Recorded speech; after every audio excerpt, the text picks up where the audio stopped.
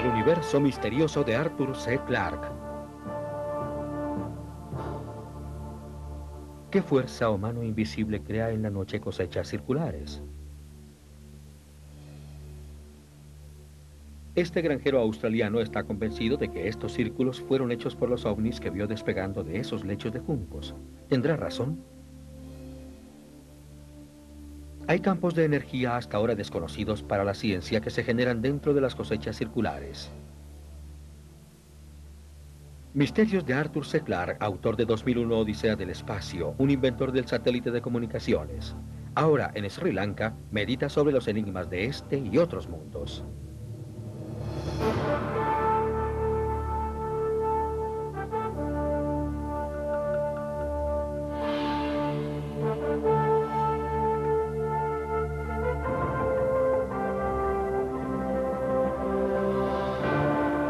universo misterioso de Arthur C. Clarke.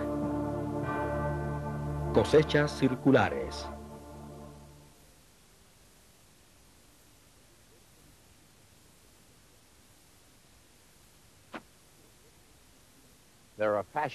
Los misterios también son una moda como cualquier otra cosa. A principios del siglo XX, el espiritismo fue toda una pasión. En los 50 hubo una plaga de platillos voladores. Luego en los 80 la fuerza de un nuevo fenómeno surgió en la campiña inglesa. Los campesinos estaban aterrados y en general molestos al descubrir inmensos círculos de trigo aplastado. Cada año más y más cosechas circulares fueron reportadas. 20 en 1986, 300 en 1989 y casi el doble solo un año después. Las cosechas circulares fueron apareciendo por todo el mundo inclusive aquí en el lejano oriente, en los campos de arroz. Pronto las cosechas restantes estuvieron en peligro de ser aplastadas también.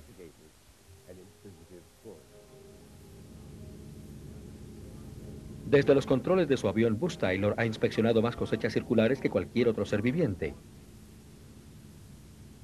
Durante el verano todos los días examina minuciosamente los campos ingleses buscando formaciones recientes sobre los grandes campos de trigo cerca a Wessex y los fértiles pastos del Valle de Thames y ha fotografiado cada pictograma inquietante.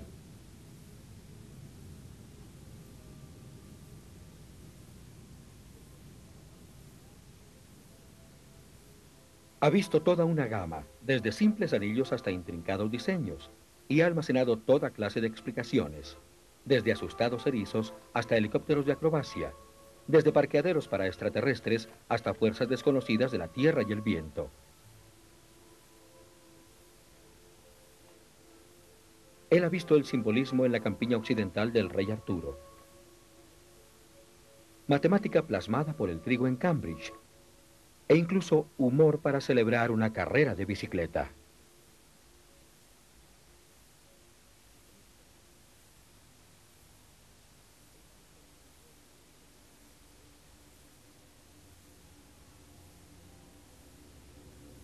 En un mundo aparte, George Birley ha estado cazando durante cerca de 30 años algo que él vio aquí.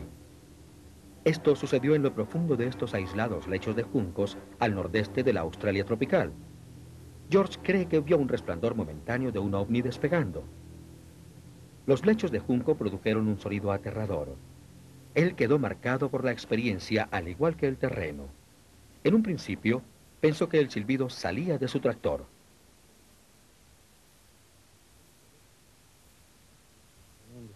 Yo estaba aquí afuera, al otro lado del tractor, revisándolo y tratando de convencerme de que no lo había visto. Pero luego se veía como un platillo volador. Creo que no lo pude ver mucho tiempo y simplemente desapareció.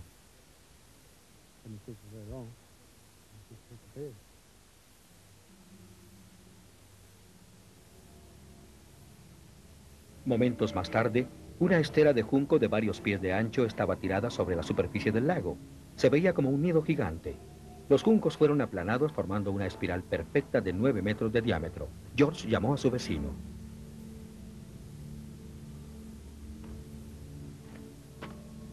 Albert Penisi cultiva caña de azúcar en esta tierra. Él también se aterró con el círculo especialmente por su fuerza. Era de 60 centímetros de ancho y fácilmente soportaba su peso. Yo pienso que este podría sostener a 10 o 12 hombres. Ahí estamos George y yo examinando los juncos y cómo se convirtieron en una plataforma. Estos eran muy anchos en la raíz. Usted no podría caminar por entre estos de ninguna manera.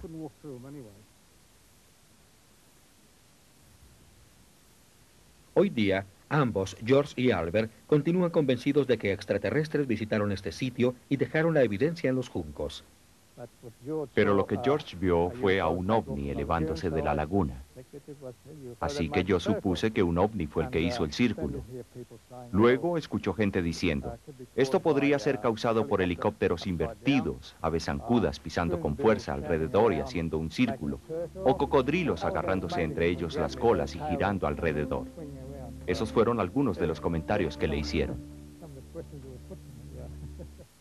Y lo que sigue, adentrándonos, entendiendo y descubriendo los increíbles círculos de Inglaterra. Y un secreto de hace 50 años. Kadskin es quizás la primera testigo ocular del mundo de un círculo.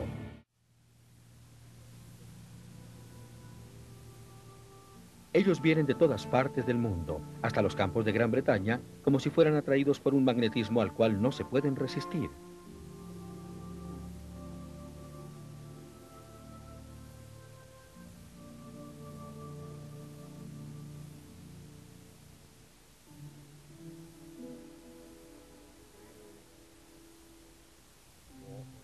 Siete. Siete. Extrañamente, todas las espirales y todos sus círculos, todos tienen siete puntos. Sí, una irradiación en este sector. Pienso que debemos parar allá, si no le importa.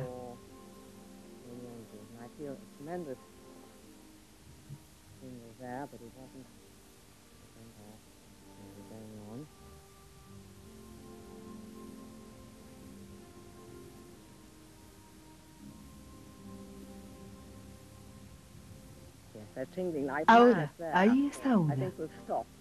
Solo sacúdala.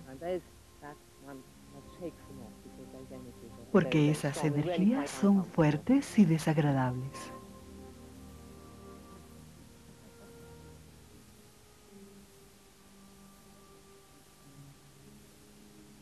Bien, Lynn, tu aura debió haberse expandido, así que veamos qué tanto lo hizo. Aquí está la diferencia.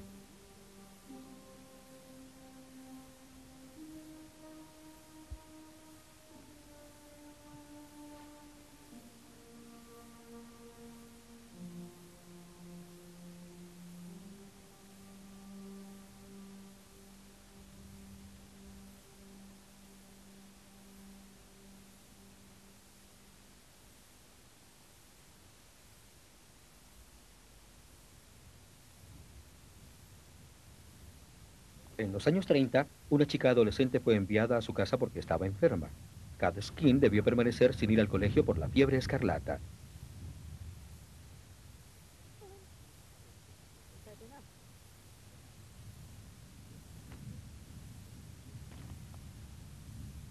Kat no reveló lo que vio aquí hasta después de medio siglo, cuando comenzaron a aparecer por docenas las cosechas circulares. Era un adorable y caluroso día, un día parecido al de hoy, como si viniera una tormenta. Enfrente de mí, allá estaba este gran campo de trigo. Yo estaba masticando un poquito de hierba, igual que ahora. De repente vi un torbellino grande, justo en medio del campo, y botaba materiales como a nueve o doce metros de altura. Todo desapareció de repente. Todo el material cayó al piso y yo estaba fascinada con esto. Y era aterrador. Eran círculos de trigo aplastados, blancos y grises. Y yo tenía sandalias puestas, así que sentí que el trigo estaba muy caliente para mis pies. Todo cayó como cuando uno tiene un paquete de cartas y se caen unas contra otras. El trigo estaba como ese, en una dirección perfecta, y todas las espigas del grano estaban entretejidas por todos los lados en algo circular y hermoso. Esto solo puede ser una presión muy fuerte para compactar todo ese grano en el piso y de esa forma tan particular. Entonces aparecieron cartas en los periódicos sobre esos maravillosos círculos que se descubrían por todo el país y que estaban hechos por el hombre de alguna manera. Cuando ellos empezaron con lo de los extraterrestres me sentí incómoda, porque pensé, yo he visto hacer esas cosas y nada tiene que ver con extraterrestres o extranjeros. Quisiera saber cómo se formaron, si es por una corriente eléctrica, si es algo en el suelo que se forma de manera diferente, de acuerdo a las condiciones climáticas. No lo sé, pero si usted lo descubre, me lo deja saber. La historia de esta dama es valiosa. Es la única de cientos de narraciones de testigos oculares que data de antes de los 80. Los primeros estudios fueron hechos por meteorólogos. Ellos no tenían razón para sospechar que eran engaños y se maravillaron al pensar que el fenómeno podía ser causado por torbellinos. El doctor Terrence Miden investiga fenómenos climáticos poco usuales. Sus reportes vienen de gente como el agricultor Tom Winnett. Tom dice que él también vio formarse una cosecha circular, pero su experiencia estuvo acompañada de efectos extraños. Su auto se bloqueó, se escuchaba un zumbido y vio chispas que danzaban en el aire. Cuando regresé al camino, el auto, las luces y la ignición, todo estaba muerto. Así que escuché ese zumbido, que venía del lado opuesto del camino de uno de nuestros campos y simplemente no podía entender lo que estaba pasando. Así que caminé afuera y di un vistazo. Era un zumbido muy suave, más o menos como el de una máquina de coser a la distancia. Y esto fue aterrador. Había ocasionalmente pequeñas chispas rojas, no cualquier cosa. Chispas que usted solo podría ver de noche. A la mañana siguiente fui a los alrededores y me detuve en las entradas y ahí estaba un círculo perfecto en los campos. Círculos de trigo.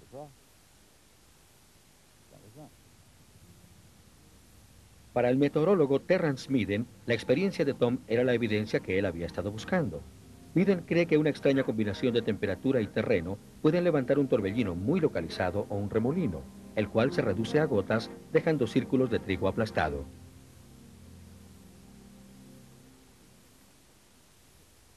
Esta es una situación perfecta para la formación de círculos. Yo predije que esto pudo haber sucedido. Esto es para decir que hay una colina de cierta importancia justo ahí al occidente. Siendo las condiciones tranquilas esa noche, estoy seguro que la misma montaña proporcionó el obstáculo que produjo un pequeño remolino. Me complació mucho recibir la llamada de Tom y escuchar sus observaciones. Muy pocas personas han sido afortunadas en ver esto. Tom es un testigo fiable. Él es un buen hombre de campo, un buen observador, y no tiene ninguna razón para buscar publicidad. Mi teoría se adapta muy bien a las cosechas circulares ordinarias. Verdaderamente no hay sugerencia al respecto. Nadie más ha venido con cualquier otra explicación sobre el fenómeno. Si mi teoría no es correcta, entonces ¿qué va a hacer? ¿Van a ser los duendes?